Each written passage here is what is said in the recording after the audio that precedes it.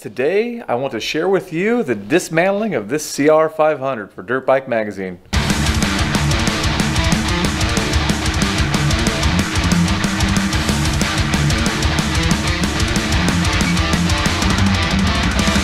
All right, welcome back everybody. Hope everyone's feeling good. Today we're gonna finally tear into the CR500.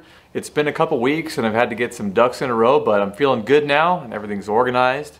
Parts will be going to certain people. Things are in place and I feel really good about that. So today we're gonna start tearing into this thing, get a look at what's underneath the tank, how all the components look. Judging by looking at it from the outside, it looks outstanding for its age. It's a 1990 has most of the stock components on it or is completely stock actually minus bars and some bark busters that are pretty heinous but anyhow we're going to tear into this bike see what she's made of behind the 500 we have the 2004 CR250 I'm going to do a separate teardown video on that. I'll keep them segregated, but the builds will be going on at the same time. So I hope you enjoy and let's get into it. Step one in taking a bike apart is making sure you have somewhere to keep all the components as they come off the frame. I'm going to use this wire basket shelving back here. Otherwise you end up with stuff everywhere. It's no good. Currently uh, I need to clean this sucker off. We have pieces of Project Disruptor, the YZ300 build. You guys can check out other videos for that. Some sponsorship parts wheel set, and uh, you know a bunch of miscellaneous this and that. So I'm going to be using that for the bike breakdown. I have another one in a trailer out back and that way each bike will have its own shelving unit. It'll be easy to find things. I can grab and package things and send them out to particular sponsors who will be helping out just makes life a heck of a lot easier. So I'm to get this shelving cleaned off. We're going to wheel it up front and we're going to start tearing that CR500 apart.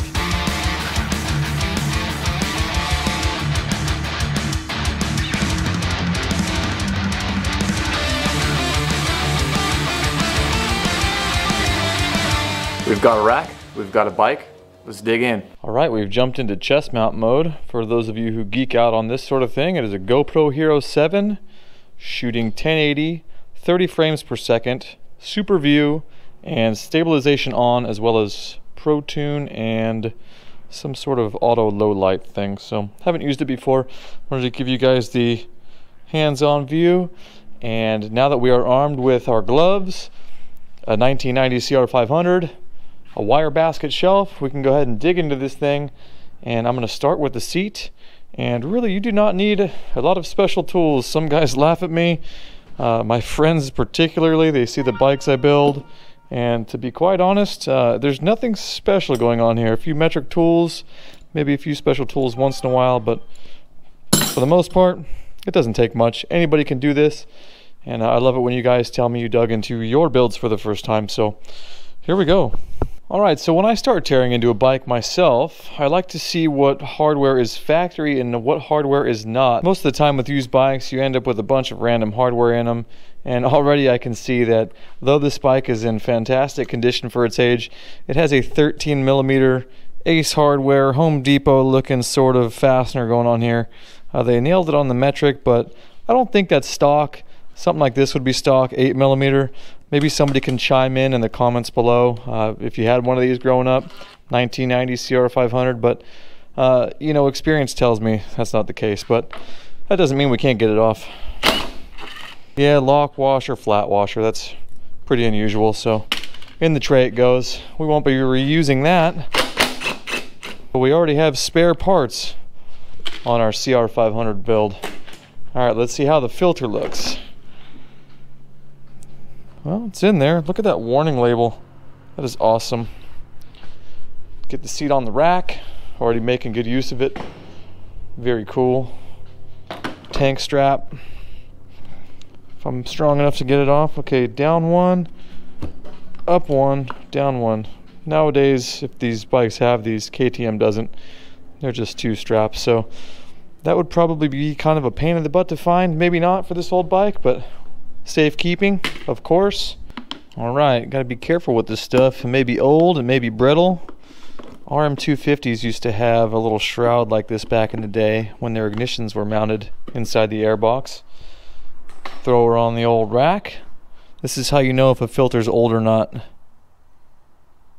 Oh, it's in good shape. Usually if they're too old, you touch them and they just disintegrate in your hands. This one doesn't seem to have any product on it.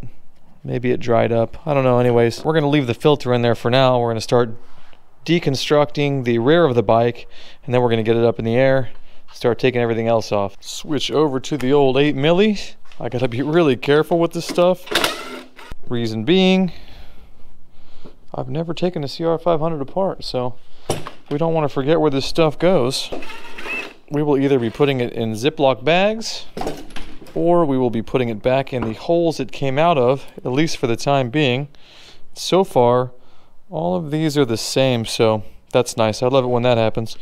I can put them all there for now. Doesn't matter if they get a little mixed up. Looks like this will be the only variant.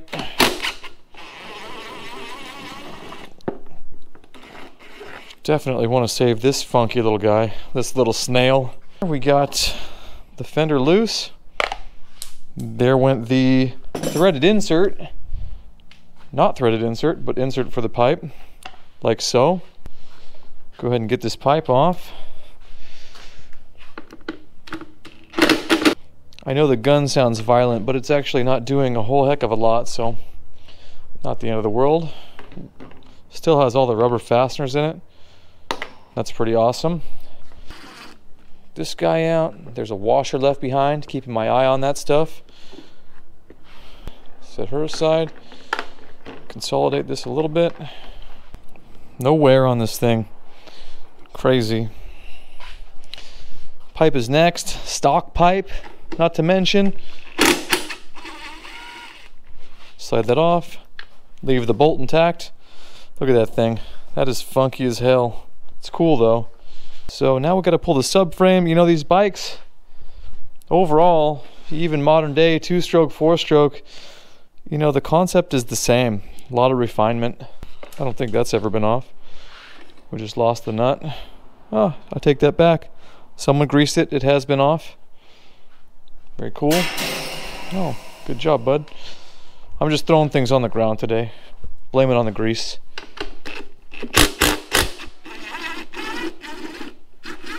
These are 12 millimeter. To this day, a lot of these are still 12 millimeter.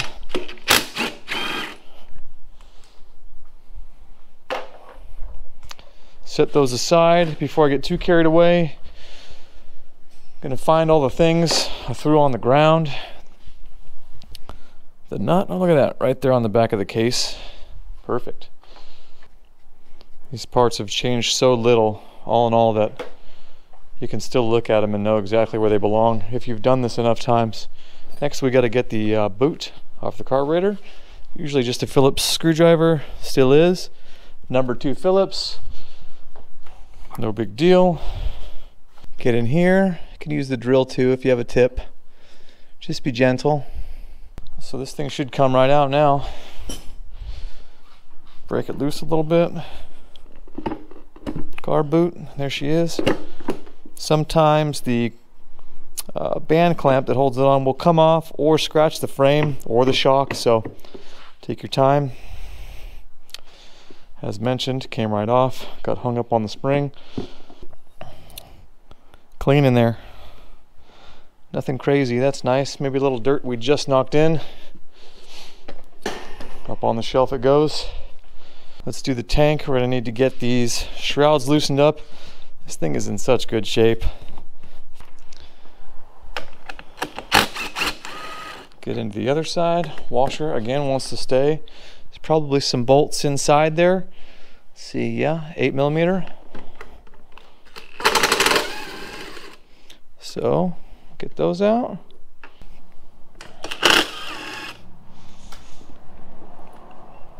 Pretty straightforward. There we go. Tank should come right off.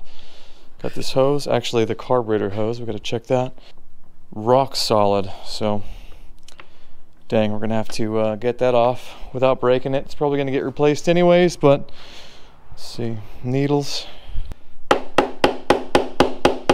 Hard as a rock. Wiggle that bad boy down. See if we can break the seal there. And we did. Can hear it actually breaking free. Let's see how much fuel comes out all over me, if any. Man, this thing's not moving. We're gonna get a fuel surprise. Nice, but the hose broke anyways after all of that uh, special care, so oh well. It happens. We weren't reusing that anyway. Tank's empty. Look at the condition that thing is in. It's beautiful. This thing is very intact. Super clean underneath. Did this guy even ride? I don't know. Put it on the rack. And there you have it. Look at the guts. Look at the uh, skeleton. Nowhere. Crazy.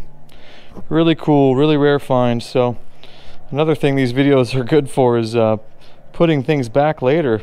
It's at about this point I normally bust out my cell phone, start taking pictures of everything, the way cables were routed, what kind of straps were on the bike holding cables where they go, how was the coil bolted on, how were the wires looped away from getting damaged, things like that. Look at the radiators, they're so straight, crazy. Everything's in such good shape. All right, moving on. Let's take some photos of how everything lays out, how the cables are, and where they go. Got our cell phone out.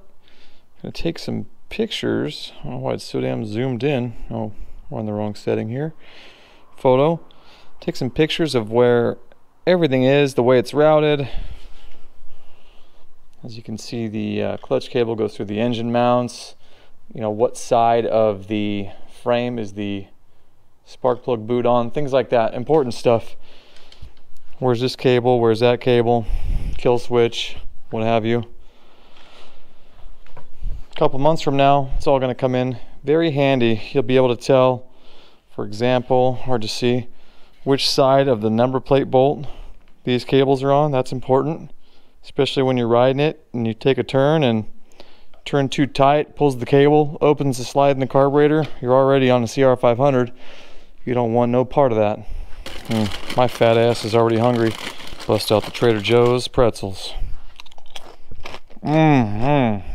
All right, so since I'm already over here stuffing my face, I'm gonna go ahead and on my break, go ahead and uh, place some things in some bags so I know where they go. For example, we had gas tank bolt, gas tank bolt, lower radiator shroud, lower radiator shroud, rear fender, three of those and three washers and then these uh, super trick definitely OEM seat bolts. We're gonna have to bag those up too. And now I'll make myself a little note easy as that rear fender tank and shroud and what was the other thing? Oh yeah, trick seat bolts. Factory seat bolts. Factory seat bolts. Cool. Love it. Do the same thing to everything you take apart. This is kind of obvious. You know, I don't need to put that in a bag and label it, but I could put it in the bag and know what it is later. So just depends on uh, how many times you've done it. So if it works for you, give it a shot. If it doesn't, do something else. Let me know what you like. These I'll go ahead and put in a bag.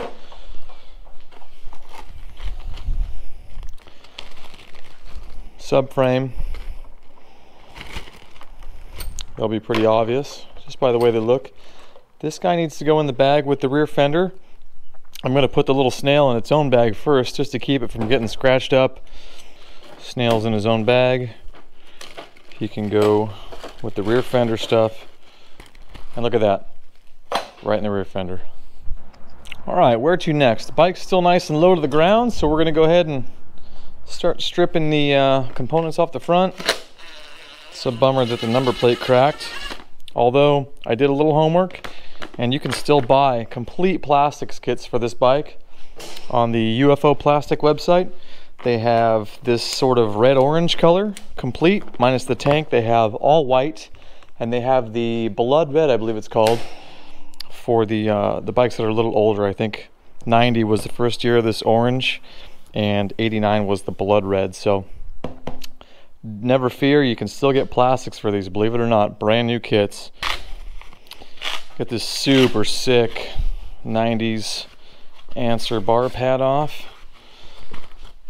It's Kind of a uh, collector piece in itself for somebody.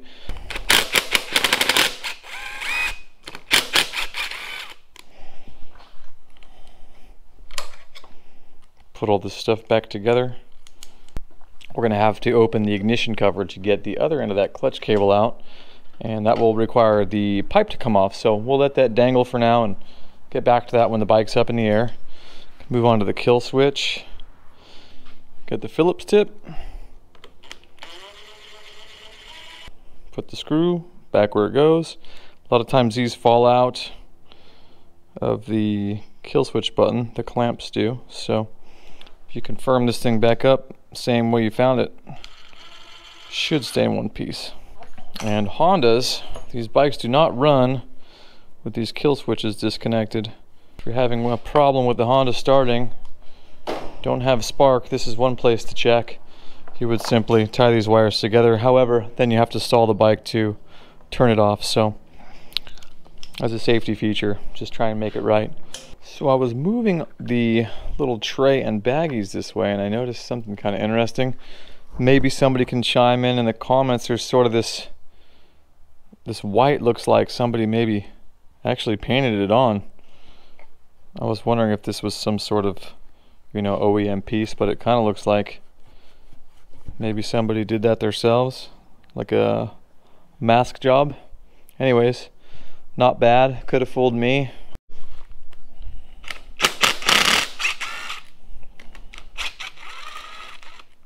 Brake master cylinder. Let that hang for now.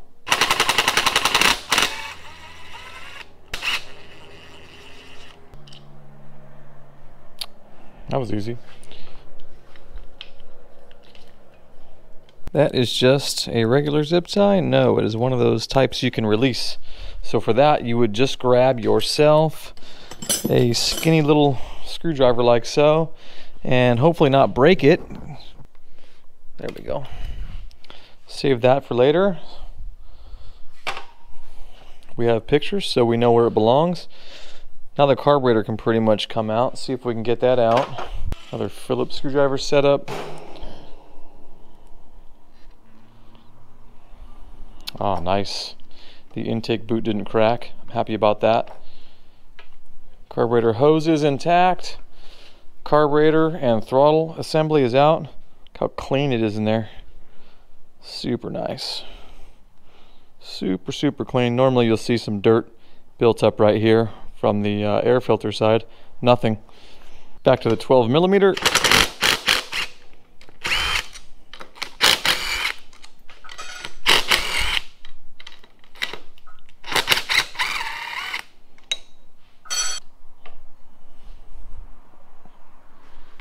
Bars on the rack.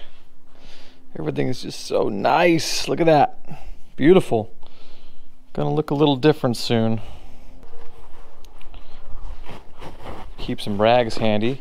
You don't want anything getting in this engine. Even though it is coming apart. Let's get this thing up in the air. Go ahead and get the wheels off of it. The swing arm, suspension, forks. Safety pin there you go. These stands are amazing. They save your back. I'm now at full working height. You guys can check these out on the website if you like. They're about 300 bucks and they are worth every penny. This one's about three years old and uh, nothing has happened with it at all. Nothing bad. Pretty pumped on that. Still making my life easy. So let's see, what do we want to pull off next? I'm gonna start with the front wheel and then we can kind of strip the forks off and everything. Actually, we'll start with the brake because it's just hanging free right now. This stuff has not changed much. I know I said it once already, but I mean, as a matter of fact, even these fork guards, you can run 2020 fork guards on these old forks if you want, and, and we probably will. They have really cool little slits in the sides of them since maybe 2018 or 19. I'll show you guys those real quick. I have a pair of those in the shop actually. Let's go look at them. 2019 CRF 450X. You can kind of see the uh, holes and the bolt pattern is exactly the same. You can also put uh, KTM style guards on these. A couple years back, KTMs used to be a full wraparound style instead of a gap in the back and those actually fit the Honda as well if you're looking for an off-road option and want to protect your forks a little more. All right, what's next? Bunch of 10 millimeter bolts. Looks like the wheel's just gonna fall right out. You don't have to slide the axle any which way. That's kind of cool and also kind of dorky looking, but you know, that's just the 2020 me talking. Got a 10 mil set up. He's gonna come flying out at me. These would be pretty hard to mistake for some other component somewhere.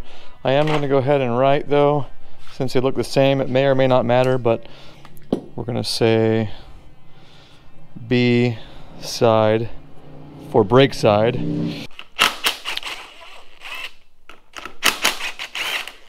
That's kind of weird. This stud is shorter than the rest. I wonder if it broke or was replaced. Looks like somebody maybe snapped it off, sort of rounded on the end. All right, come on out.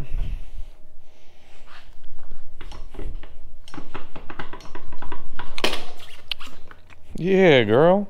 Nice. Axle and wheel in one piece. I like that. Maybe they should bring that style back.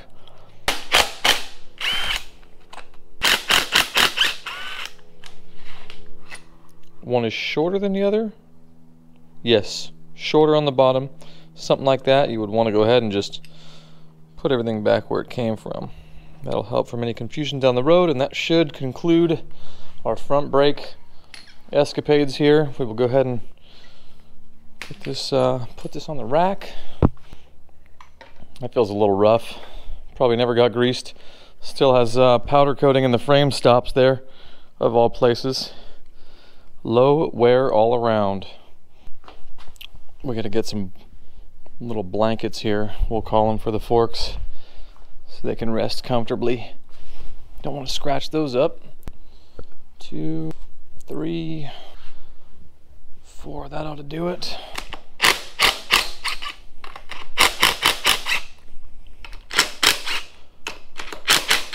Some forks will come shooting out so always brace them. I've had one fly out on the floor before. Well, more than one, let's be honest.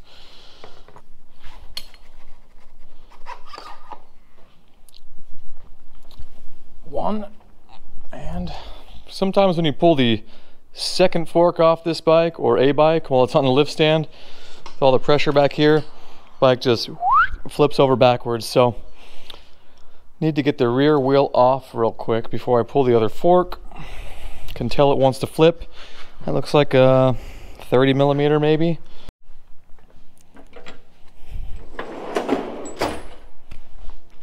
I was wrong, it is not a 30, it's more like a 28 and don't hate, I found a 1 and 1 16ths that fits perfectly. I did not have a 28, so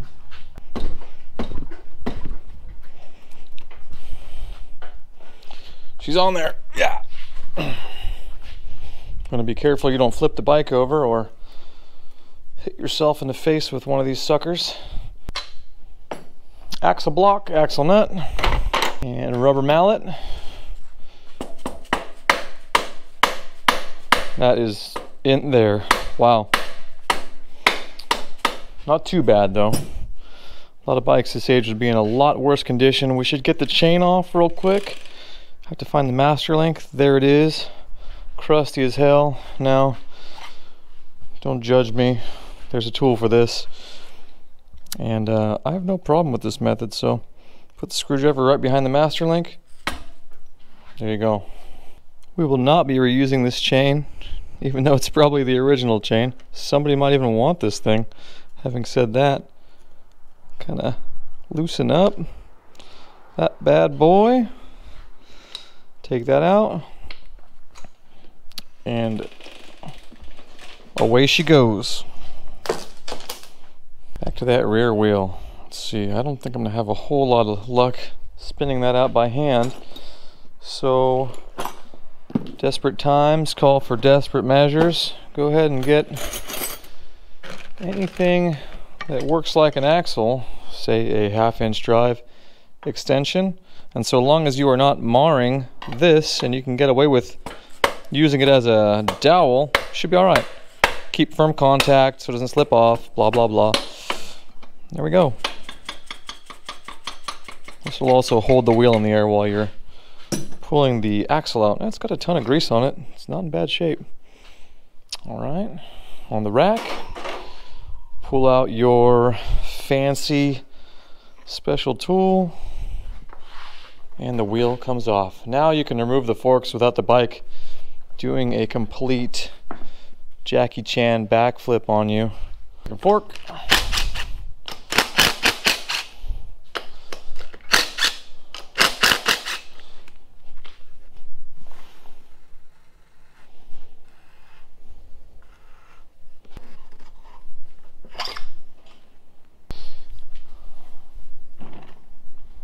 Moving on to the shock, we have to get this upper bolt out and the lower bolt below. So usually it's a 14. See if it's, if I'm right about that. 14, 14. You got it, bud. I'll take the nut, leave the bolt in there for now. Looks dry as a bone. Another 14 down below.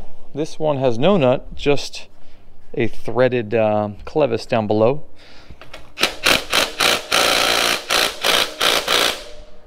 I'm glad the impact didn't get that off. That means the proper torque value was set or it was just seized. We'll find out.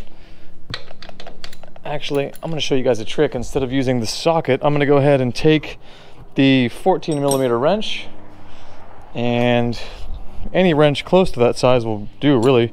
We'll take the 17. Now, you don't have a ton of leverage in this position. If you grab another wrench, box end, and you slide it in like so, now you have a ton of leverage. So this will come off easy. Just have to make sure this doesn't swivel apart, slip, and hurt yourself. So here goes nothing. There you go. You can see that it broke loose and slipped. And now the impact gun can do the rest.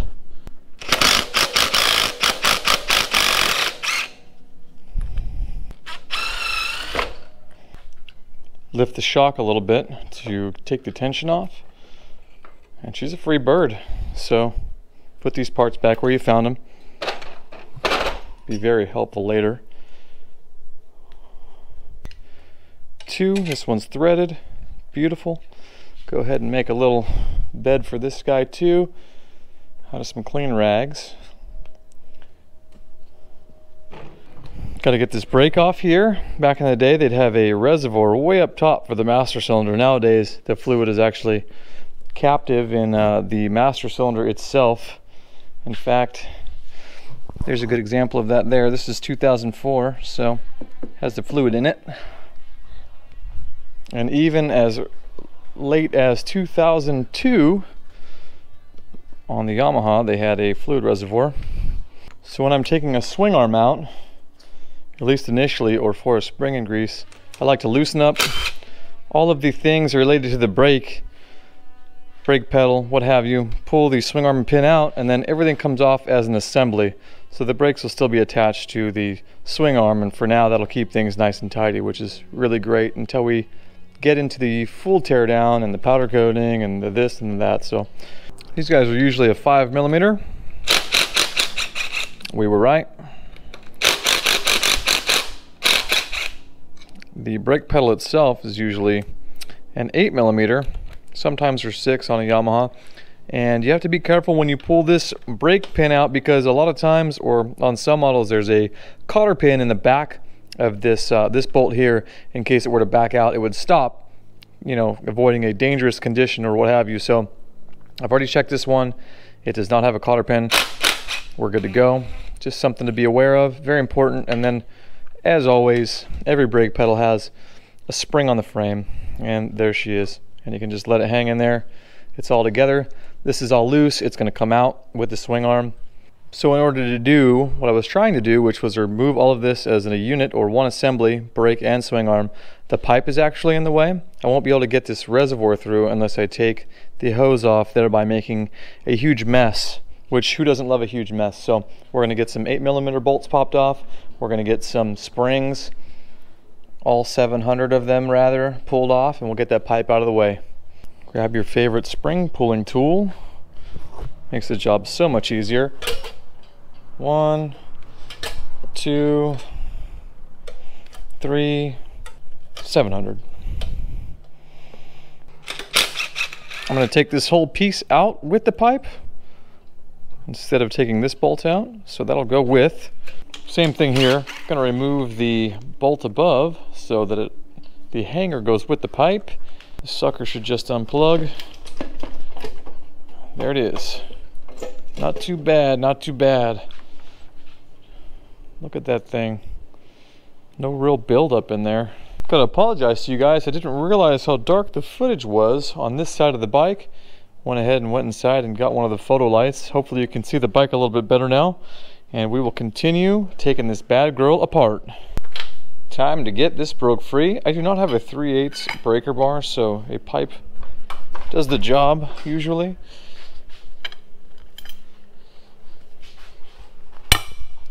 Oh yeah. It's been a while, AKA never. Now I need to get under here and bust free these linkage hardwares. Usually those are 17 millimeter. If you loosen them both up while they're on the bike, it will make it easier to take apart by hand later. So we're gonna do the same trick we did earlier. We're gonna do the double wrench trick, like so. Boom. Sometimes when the double wrench trick just isn't doing the job, you can go ahead and bust out the rubber mallet.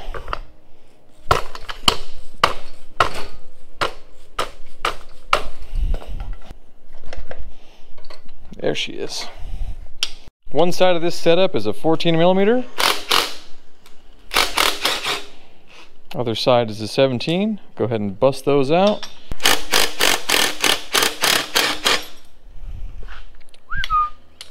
With a little look, those will come right out. Perfect. Bone dry, never lubricated, probably ever, which is typical. Get the other one, and the chain slider is in the way, but it just broke, so it's no longer in the way. All good. They still make those, believe it or not.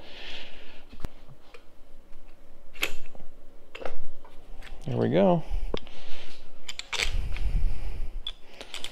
Swing arm is next. Brake is already free. This thing is ready to come out as an assembly. Please do not mind the copious amounts of gardening that are going on down the street. Told myself I wouldn't get upset about it, but it is pissing me off for sure. I hate that distraction. But the show must go on. If you guys see a dead gardener in the news next week, it wasn't me. Oh, check that out. That's a machined piece. I've never actually seen a swing arm that had a uh, machined piece welded to the casting. That's pretty awesome. Once again with our little trick. And that does not want to move. So what I'm going to have to do is apply a little bit of heat in here to get that to come out. And it's not a big deal. I'll show you guys how to do it. Get this hose out of there because for sure that will be melted before long. I'm actually not sure why that's pinched in there in the first place. Ready for heat. Unfortunately, we had a casualty. There is a chain slider down there. Sorry, bud. I think TM Design Works actually makes one still, so now you're going to want to apply some heat. Not too long. The idea is to heat up the components that are around the main pin holding the swing arm in, and it will help uh, get the bolt out. A little above, a little below.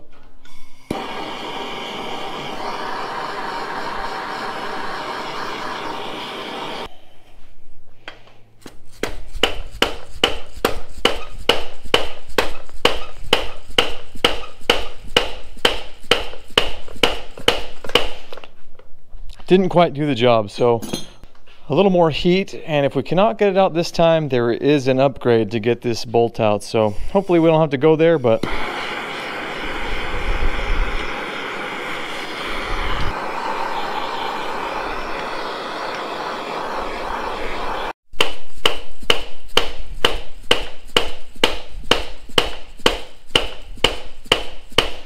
all right she's still stuck in there so Unfortunately, kind of a bummer, but not the end of the world. We just need to bust out the old air chisel. Now this is gonna get the job done nine times out of 10. I've never seen it not work. The problem is you don't want to mess up this main pin. So we just have to be careful, do a couple tests on it, see how it goes. If you're using one of these, use ear protection. They're loud as hell and uh, safety glasses aren't really a bad idea either. So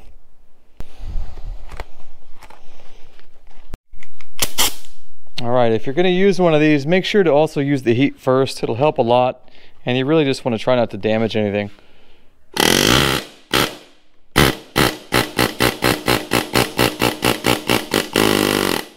That was not bad. Not bad at all, which is a good thing because we don't want to damage anything as mentioned. So that was pretty quick and painless. Now that that is over with, we can go ahead and continue with uh, the first trick.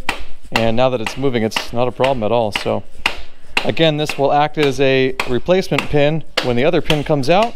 So the swing arm won't fall on the ground. And yeah, pretty crusty.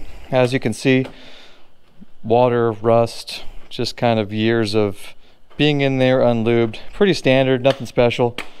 No big deal. She's free. This thing may be really hot, so in this case we're good, but if you've used the heat trick, just be aware that. You could get burned. And we will set this aside. Swing arm is ready to be removed. Let's do that. Pin out.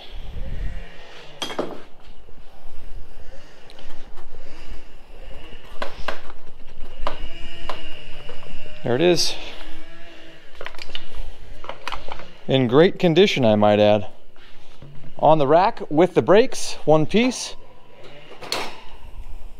Rack is filling up. We are on the home stretch. All we really need to do now is get the clamps out of the frame, drain the coolant out of the engine and radiators, remove the engine, and set aside the electronics. Uh, after that, it's pretty much down to breaking the frame bits and pieces off and getting the thing ready to go get powder coated. Probably going to keep the same Shasta white, maybe a little bit brighter white. We'll see what happens. All right, so it's time to drain the radiator. I recommend going over to a rubber glove instead of the other type. You are probably going to get your hands wet, so you'll also need the 8 millimeter in most cases, sometimes a 10, we're about to find out, and then a bucket to catch all this stuff. You don't want it getting on the ground, and pets like to drink it, and it's just better to capture everything, of course. We should probably get a rag too. This stuff ends up in all of the little deep grooves of the stand most of the time. Okay, so with your rag in place, you're gonna go ahead and pop the 10 millimeter bolt out of the water pump. You'll start to get a trickle, which is normal, but if you want the coolant to really come out at a rampant pace, go ahead and pop the radiator cap and it will flow like hell.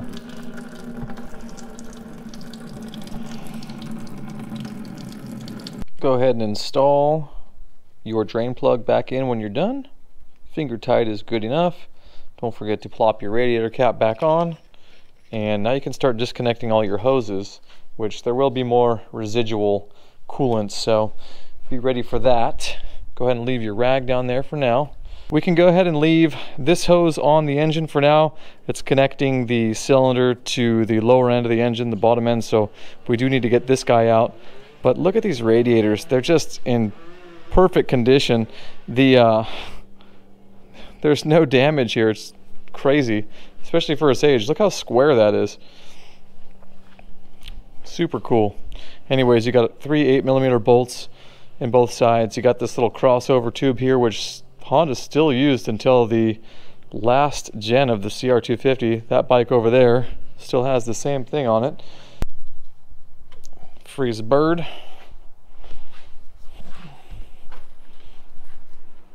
Oh, there we go. Go ahead and very gently remove your radiator louvers. These are just plastic.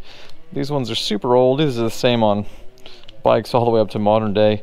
I just don't want to break them. It's the most important thing. I don't know how hard these are to get for a 1990. So there we go. Nice on the rack. Next side. This one's a little stiff. We'll try the back side instead. That seemed to work a little easier without breaking. One more. There we go. We good, man.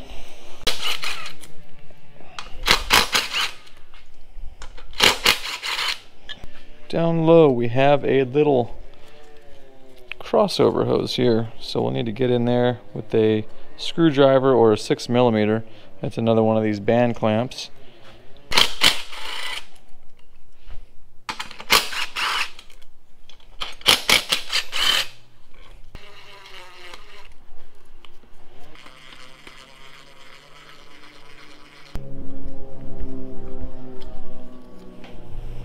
There's something I didn't get a photo of right there. The way this breather, the way this overflow and ignition wire is coupled together with the zip tie at the frame. That'll come in handy later.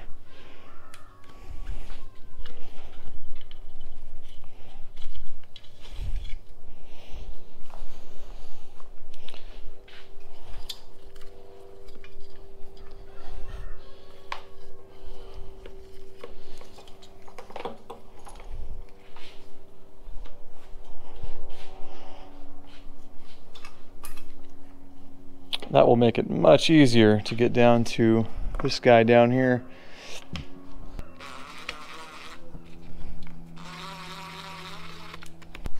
Sometimes it helps to break the seal, if you will.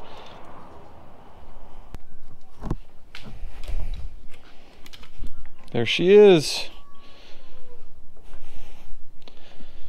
A lot of times you'll find residual coolant in these, so before you throw it on the rack and spill stuff everywhere, just go ahead and empty them out a little better.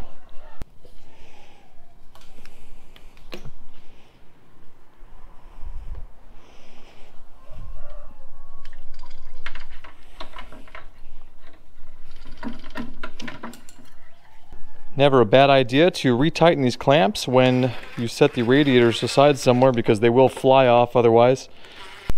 Now that we have better access to some of these electronics and the radiators are, are out of the way, we can go ahead and take some photos of exactly how everything sits. Super important if you want to route everything without getting a pinched wire later. Go ahead and start taking some of these little tank grommets off the frame. They're in killer shape, so we don't need to try and source new ones, which is great. This one, we need to take the coil off first.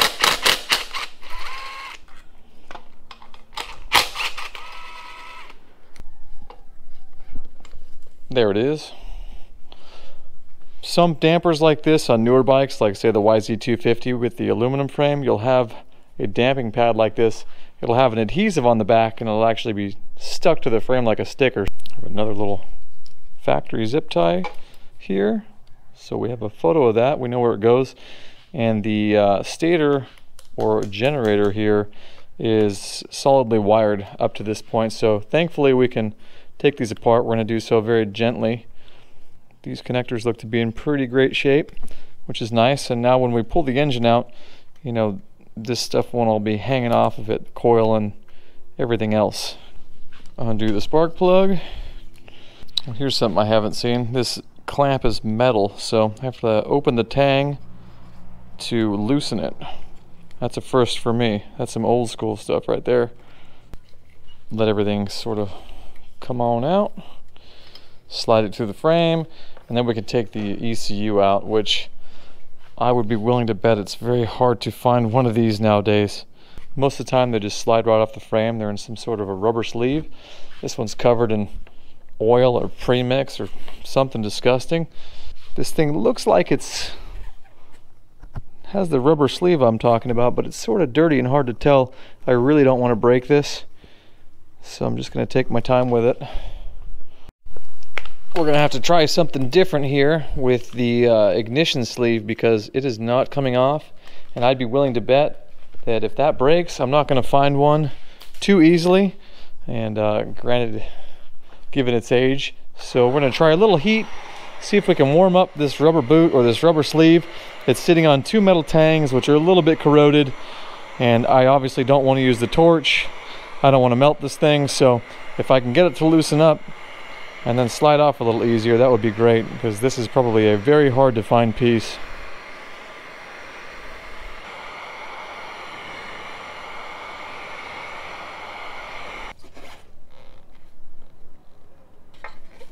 There you go. It worked. That was awesome. Sort of break the crust if you will. And there it is. Yeah, those things are pretty, pretty mucked up, but overall they're in pretty good shape still too, intact. I did not want this to rip. It's filthy, but nothing a little scrub can't fix. So all the electronics are intact together. Roll them up, throw them on the rack. As I've been going, I've been putting things in Ziploc bags and labeling them, except for that one. We know it's the subframe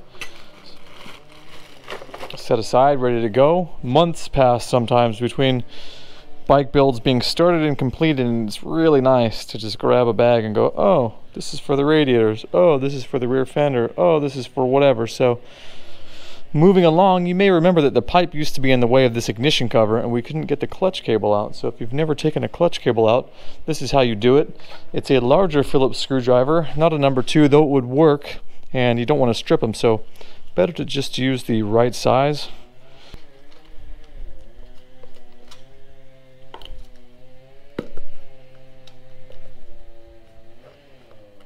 Rubber gasket stayed in one piece. We do have a little moisture in here, which is not unusual at all.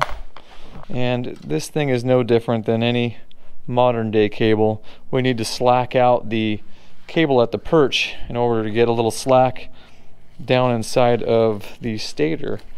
That way we can get this thing out. 10 millimeter and an all 16s, as my buddy would call it.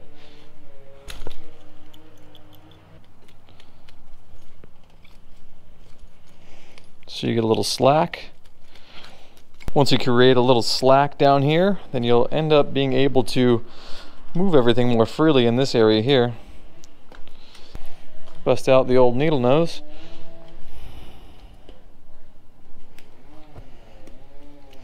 And that's it. Everything comes right out.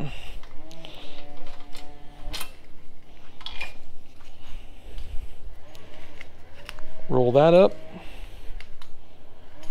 Put it on the rack.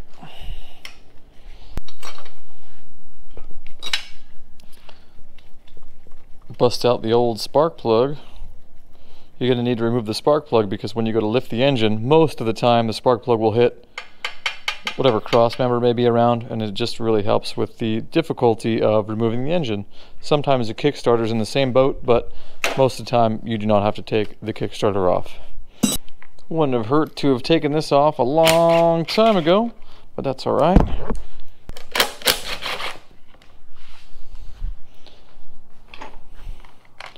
There's usually four bolts, four washers underneath, four washers on top and these usually have some sort of an insert on them. If I could get one out we'll use the spark plug right here.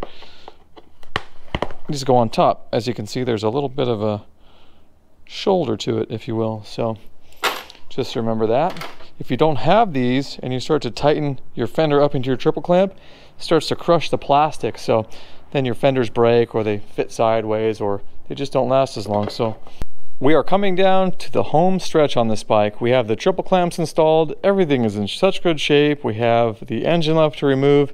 And really the only thing that stands between us and making that happen are a few bolts. You have the upper head stays here. You have a mounting bolt here and you have a mounting bolt here. Of course, the main pin for the swing arm crosses through the engine as well, but it's already out. So we are literally just a couple bolts from getting this engine out, sitting it on the rack, and we're pretty much done at that point. So on Hondas and most bikes, they are notoriously 12 and 14 millimeter.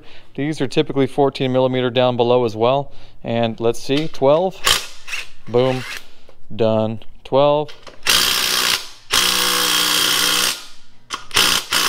Not a boom done, but it's a 12. We need to get a wrench on the back side of that. What do you know, there's a 12 right there. Boom, done. And now we need to move over to the 14. So here's what I've used on this bike so far. There's a 12, there's a 10, there's a 14, here's a 13 for the seat bolts that didn't belong in the bike in the first place. You know, uh, a little screwdriver as a pick, a Phillips here and there, and a 28 millimeter for the swing arm main pin. The uh, triple clamp will probably be a 32 or a 30 up top And I mean, that's that's all there is to this. We use this a spring puller tool. I mean, if you guys aren't uh, digging into your bikes or you have apprehensions about it, get after it. You guys can do it. It's no problem. It's a toy. Had to get a ratchet for that. All good.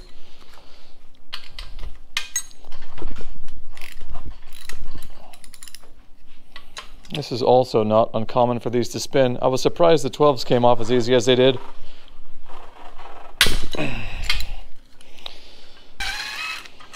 There's that. There's that. Head stays are out. Through bolt here, through bolt here. Engine comes out. Done. Now the last bolt's going to have some tension on it because the engine's weight is sitting right on it. That thing is, it's crusty.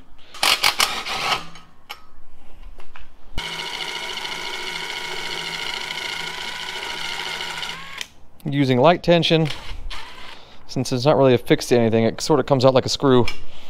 And that is extremely rusty. Lots of rust dust. All right, let's get this thing out of there. Got a spot on the rack. Now it's a matter of just getting the right angle and popping this sucker out. Rotating. I lifted up and I lifted back. Now I'm just trying to spin it. Getting hung up on the water pump a little bit.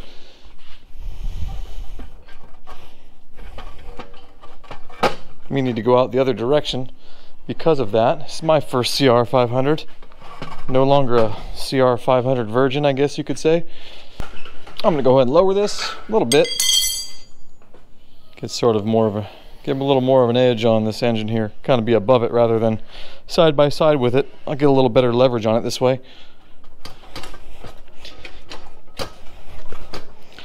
All I've really done is managed to get it just stuck you've got to try and remember how it came out so that when you go back in and everything's nice and shiny and powder coated, it doesn't get all beat to hell, but I did a pretty poor job. Ah, there she is. I was getting hung up on this quite a bit, but looks like as long as you can keep everything in line here when you slide it out, it's probably a little less painful. So she's out. Engine's free. Look at that. Just a filthy pile of frame. Let's go ahead and spin this thing off. Real simple. We have a spanner nut holding us in. Yes, there it is. Super crusty. These should never really be too tight. Most of the time you can get them out by hand. This one's nasty, so you need a little uh, cleaning before it comes out. Might even be able to hold it with this rag and spin it off. Yep, no problem. These are never really that tight, so you can actually use this as a poor man's steering damper, as they say, by over tightening it a little bit and slowing your steering down. Or if it's just too loose in general, this is where you would go to tighten up some of that slop. And pull this out, we'll have a dust seal on the top, followed by a bearing, and we will take that out also. There we go. That. Here's the dust seal. There's the bearing. Super nasty. Just kind of keep everything together right here. Then I can put the top triple clamp back on this as well and sit it on the rack. Someone did get in here and grease this, so that's good.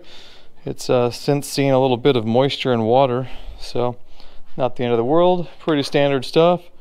Now we can sit all this back together and my friends, you are looking at a beautiful set of 1990 CR500 triple clamps. Can you even believe it? Probably not. Look at that. And there you have it, down to the bones. All I need to do is take the foot pegs off, some of the chain rollers, some of the bolts I put back in. We can get this thing out to powder coat. Powder coat will be handled by Apex Coatings, Monterey, California. And you may have seen their work on our CR250 giveaway bike last year. Amazing stuff. Get old nasty out of there. Get her on the rack. Close enough. there you have it. There is a 1990 CR500 on a rack. Now that the CR500 is broken down, next up, CR250 on the chopping block. This thing is crusty. It is not going to be nearly as nice as the 500. I mean, just look at it. So anyways, we're gonna get this up on the lift stand. We're gonna move on with the video. Come on, Ugly.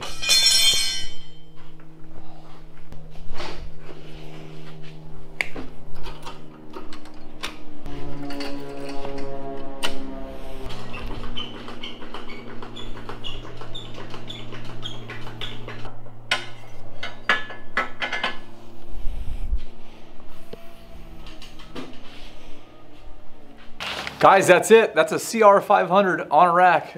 That's the whole bike. So got this whole thing torn down. I'm excited to get this thing cooking officially. We have parts going out to sponsors. It's gonna be a badass time. I wanted to introduce to you guys a few people who are helping out with this build. One of the first is Maybe you've heard of him, Adam Millar, MRE, Millar Racing Engines up in Canada. He's gonna be taking the 500cc engine and doing some top secret stuff inside. I've got no permission, unfortunately, to see what he does. Check him out in this month's motocross action. They stuffed a CR500 inside of this 2016 KTM. These are super exotic bikes. They had to cut the entire frames out of the front, get these engines to fit. Super pumped to have him on board. We have HYGGE Huga Performance doing the exhaust systems, full cone pipe, both bikes, CR250 and 500. We got a bunch of really cool stuff lined up. Can't wait to show you. Apex Coatings will be taking the frame for powder coating. They'll probably be doing some ceramics for us as well, brakes, what have you. Talking to SGB Racing back east, suspension components, finishing, DLC, things like that. So much more to come, and the CR250 awaits a similar fate. I'll do a second video for that bike. That way you guys can see the breakdown procedure and just how ratty the CR250 is compared to the 500. The 500 is in really great condition for its age. The only two bolts I pulled out of it that didn't belong on it were the two seat bolts right in the beginning, a pair of 13 millimeter Ace hardware bolts. Everything else 100% factory, every strap, every fastener, just a gorgeous motorcycle. So if you guys have any feedback for me regarding some of the questions I asked as I tore this bike apart, or you want to leave me some feedback related to the chest rig style camera I used today. Let me know if you liked it or not. It's the first time trying it. I did an audio test. It seemed like it would be okay, but I want to make sure you guys are getting the, uh, the best content possible while I go through these builds. So Instagram at MX Revival. Find me on Facebook, www.mxrevival.com. I got all kinds of awesome stuff I'd love to share with you guys, things that I personally love to use. So Dirt Bike Magazine, Thank you, we won't let you down, and I can't wait to show you guys the rest. Thank you all for watching. I really appreciate it, and I will see you next time.